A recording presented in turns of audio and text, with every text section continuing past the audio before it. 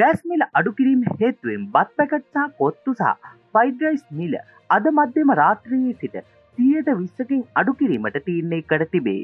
සමස්ත ලංකා ආපනශාලා හිමියන්ගේ සංගමේ ජාතික සංවිධායක අසේල සම්පත් මහතා පැවසුවේ පේන්ටි එකක මිල රුපියල් දහයකින් අඩු කන්න බවය. ඒ අනු ප්ලේන්ති එකක නවමිල රුපියල් තිහක් වන අතර පිරිතය එකක මිල රුපියල් අනුවක් ලෙසම පවතින බව ඔහු ප්‍රකාශ කර සිටී.